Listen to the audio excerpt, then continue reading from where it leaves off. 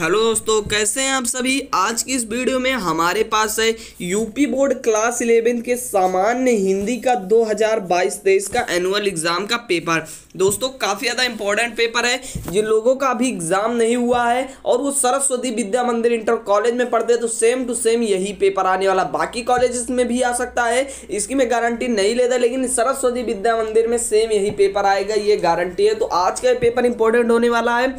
तो जो यहाँ पे आपको वीडियो को फुल वॉच करना है आपको फुल सॉल्यूशन भी मिलेगा। साथ ही पेपर का पूरा यहाँ पे देखने को मिले कैसे क्वेश्चन आए थे।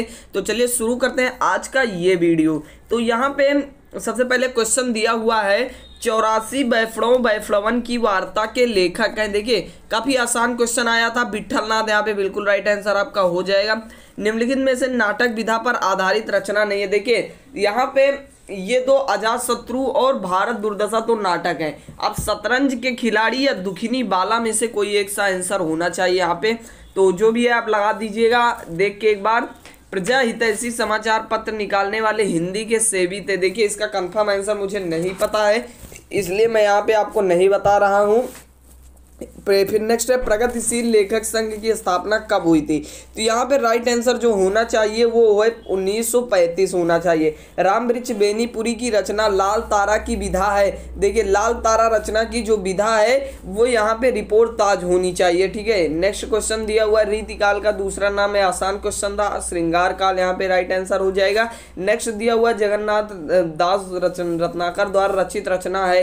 तो देखिए, जगन्नाथ दास रत्नाकर द्वारा तो यहाँ पे जो होना चाहिए, वो यहाँ पे होना चाहिए वैदेही वनवाफ ठीक है? यही यहाँ पे राइट आंसर होना चाहिए। निम्नलिखित में से कौन सी द्विवेदी युग में रचना, कौन सी रचना है? द्वेदी युग की, देखिए द्वेदी युग की रचना पूछा है तो यहाँ पे प्रिय प्रवास होना चाहिए नेक्स्ट दिया हुआ है।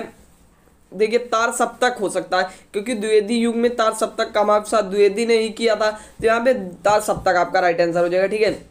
नेक्स्ट है निम्नलिखित कवियों में से क, आ, स्वामी रामानंद का शिष्य कौन था? देखिए स्वामी रामानंद पूछा है तो यहाँ पे कौन थे उनके? तो यहाँ पे कबीर दास राइट आंसर आपका हो जाएगा। किस युग को पुनर्जागरण काल की संज्ञा दी गई? तो यहाँ पे आपका जो राइट आंसर हो जाएगा वो यहाँ पे हो जाएगा भारतेंदु युग। ठीक है यहाँ पे भारत हिंदू एक राइट आंसर होना चाहिए। नेक्स्ट दिया हुआ है, हम नहीं समझते कि हमको लाच क्यों आती है उस समय। यहाँ पे ये पूरा पैसेज दे देखिए पैसेज को आपको पूरा पढ़ लेना है, फिर इससे कुछ क्वेश्चन पूछे हैं। अब देखिए क्वेश्चन यहाँ पे पूछे हैं गद्यांश के पाठ लेखक का नाम, फिर यहाँ पे भारतवासियों की प्राचीन भारतवासियों ने साधनहीनता से तो किस प्रकार स्थिति में क्या महत्वपूर्ण खोजें की थी? तो इस प्रकार यहाँ पे आप कुछ क्वेश्चन पूछे हैं, जिनका आंसर आपको देना और इस पर आपको नंबर दिया जाएगा, ठीक है? मतलब यहाँ पे प्रत्येक में जो जितने भी नंबर फिक्स होंगे, आपके यहाँ पे दो नंबर हैं। तो दस नंबर का टोटल आया हुआ है, वो कर सकते हैं। या फिर अथवा में ये वाला दिया हुआ है, ये वाला भी आप कर सकते हैं। ठीक है, यहाँ से दिया हुआ है बीसवीं सदी के भारतीय घुमक्कड़ों की चर्चा करने में। तो यहाँ क्वेश्चन उसका दिया हुआ कर सकते हैं। फिर उसके बाद यहाँ पे दिया हुआ है, निम्नलिखित पद्यांश में दिए गए आधारित प्रश्नों के उत्तर दीजिए। देखिए, पद्यांश दिया हुआ है और इससे नीचे कुछ क्वेश्चन पूछे हैं। फिर उसके बाद यहाँ पे इसके नीचे फिर यहाँ पे पद, एक पद्यांश अथवा में दिया हुआ है। इसमें कुछ क्वेश्चन पूछे। जो भी आपको आ रहा है, वहाँ से कर लीजिएगा, क्योंकि ये बहुत आसान क्वेश्चन है। ये सारे आपको आसानी से हो जाएँगे, ठीक है? नेक्स्ट दिया हुआ है यहाँ पे कि आपको जीवन परिचय लिखना है। सॉरी जीवन परिचय में आपको साहित्यिक परिचय और रचनाएँ लिखनी है। राहुल साकृत्यायन डॉक्टर संपूर्णानंद, राम वृक्ष, बेनीपुरी बहुत आसान आसान हर साल फिक्स्ड क्वेश्चन आए हुए हैं और जो मैंने पिछले पेपर का वीडियो बनाया था, उसमें भी यही सारे आए थे। तो अगर आपने वो वीडियो देखा हुआ था ना तो सेम टू सेम वही सब कुछ आया हुआ है, ठीक है? निम्नलिखित में से कवि का साहित्यिक परिचय देते हुए उनकी रचनाओं का उल्लेख करना सूरदास, कवि और बिहारी महाकवि भूषण। देखिए यहाँ पे आसान क्वेश्चन सारे हैं, आ भी गया है नेक्स्ट दिया हुआ जयशंकर प्रसाद द्वारा आकाशदीप कहानी का उद्देश्य हमें स्पष्ट करना है, या फिर अपने पठित नाटक के नायक या नायिका का चरित्रण करना है। तो आप चरित्रण कर लिए होंगे, क्योंकि उद्देश्य तो किसी, कोई नहीं लिखता है। चरित्रण या फिर कहानी अपने शब्दों में ही लिखता है।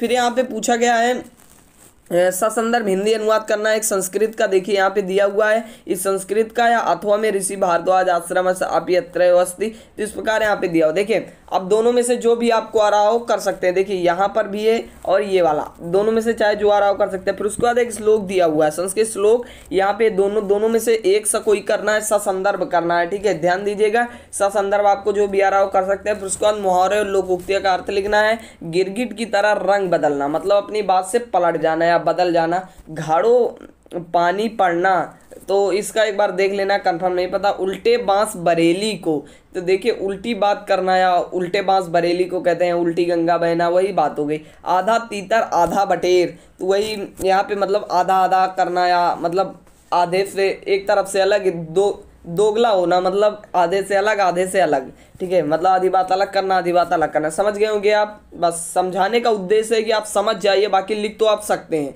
ठीक है? फिर उसके बाद नयनम, ने धन, अनम, यहाँ पे बिल्कुल आपका राइट आंसर हो जाएगा। फिर उसके बाद राजर्षि, राजा धन ऋषि तो यहाँ पे राजा धन ऋषि, यहाँ पे राइट आंसर आपका हो जाएगा। नेक्स्ट दिया हुआ शिवालय शिव धन आलय। यहाँ पे राइट आंसर आपका हो जाएगा। दिए गए शब्द, वचन के अनुसार सही विकल्प का चयन करना है। सरद्रिभी देखिए सरद्रिभी कौन सा रूप है? यहाँ पे तो यहाँ पे आपका जो राइट आंसर होना चाहिए, वो तृतीय विभक्ति बहुवचन होना चाहिए। ठीक है तो यही होगा ही, होना क्या चाहिए, यही होगा। तो आपको नेक्स्ट क्वेश्चन जो दिया हुआ है, यहाँ पे तो यहाँ पे पूछा है नेक्स्ट क्वेश्चन में अनेन, एनेन में कौन सा है? तो देखिए, इसका एक बार आपको देख लेना है कंफर्म मुझे नहीं पता है। पंथ पंथ पंथ मतलब रास्ता होता है, पथिक और, देखिए, पंथ मतलब क्या होता है? रास्ता सॉरी पथिक और रास्ता। यहाँ पे आपका राइट आंसर हो जाएगा। फिर उसके बाद यहाँ पे कटिबद्ध, कटिबंध। देखिए, कटिबद्ध मतलब क्या होता है? कटिबद्ध। कटिबंध मतलब होता है यहाँ पे करधनी और यहाँ पे तैयार। यहाँ पे बिल्कुल राइट आंसर आपका हो जाएगा। नेक्स्ट दिया हुआ है कि नेक शब्दों के दो अर्थ लिखिए। संज्ञा। संज्ञा मतलब क्या होता है? एक हिसाब से आप कह सकते हैं कि अच्छाई मतलब किसी की संज्ञा दी जा रही है। हर मतलब होता है यहाँ पे अनेक और यहाँ पे हर मतलब हरना, ठीक है? उसके बाद यहाँ पे नाक का लिख सकते हैं, धान का लिख सकते हैं, जो भी आपको जानने की इच्छा रखने वाला जिज्ञासु, धरती और आकाश के बीच का स्थान धरती और क्षितिज कह सकते हैं या फिर यहाँ क्षितिज कह सकते हैं, ठीक है? धरती और आकाश के बीच का स्थान। फिर उसके बाद जिसका दमन ना किया जा सके मतलब जिसका दमन ना किया जा सकते, वो आपको लिखना है। फिर उसके बाद वाक्यों को शुद्ध करना, आप चल लेना चाहिए, आप चले जाना चाहिए अब चलना चाहिए, ये आप लिख सकते हैं। संतोष का फल मीठा होता है। तो संतोष का फल, देखिए यहाँ पे संतोष गलत लिखा हुआ है, यही आपका मिस्टेक है, या काम चार आदमी का है, या चार आदमी का काम है, ठीक है? फिर उसके बाद वीर रस की परिभाषा उदार सहित लिखना है या फिर इसमें कौन सा रस है, आपको ये बताना है, ठीक है? अस्थाई भाव भी लिखना है। श्लेष अलंकार की परिभाषा से उदाहरण लिखनी है या फिर इसमें कौन सा अलंकार है, ये आपको बताना है और यहाँ पे इसके अलंकार को स्पष्ट करना है। फिर उसके बाद कुंडलीय छंद का उदाहरण लिखना है या फिर अथवा में ये दिया हुआ है, इसमें आपको कौन सा छंद है उसके लक्षण भी लिखने होंगे, ठीक है? नेक्स्ट दिया हुआ है, यहाँ पे आपको एक लेटर लिखना है निकषद इंटरमीडिएट कॉलेज के प्रबंधक को लिपिक पद की नियुक्ति हेतु आवेदन पत्र लिखना है, अपने नगर निगम के स्वच्छ जिलाधिकारी को मोहल्ले की गंदगी के लिए शिकायती पत्र लिखना है। तो छह नंबर का है, जो भी आप करना चाहें कर सकते हैं। फिर उसके बाद यहाँ पे दिया हुआ है किसी एक विषय पे निबंध लिखना नौ नंबर का सबसे इंपॉर्टेंट क्वेश्चन है। और अगर आप इसे चार पेज लिख के आए होंगे तो आपका नौ नंबर कोई काट नहीं सकता। आपको बहुत आसान आसान टॉपिक अनेकता में एकता, समय नियोजन और विद्यार्थी जीवन, साहित्य, समाज का दर्पण हमारे राष्ट्रीय पर किसी के लिए। वैसे थोड़ा हार्ड आया था निबंध तो यहाँ पे अच्छा टॉपिक वही चुना होगा जो आपने अच्छे से कर लिया होगा। तो बस दोस्तों, आज के वीडियो में इतना ही था। आज का ये वीडियो आपको कैसा लगा कमेंट बॉक्स में बताना। पसंद आए तो लाइक करना, चैनल को सब्सक्राइब करना। मिलता है इसके नेक्स्ट वीडियो में एक नए पेपर के साथ। तब तक के लिए बाय बाय।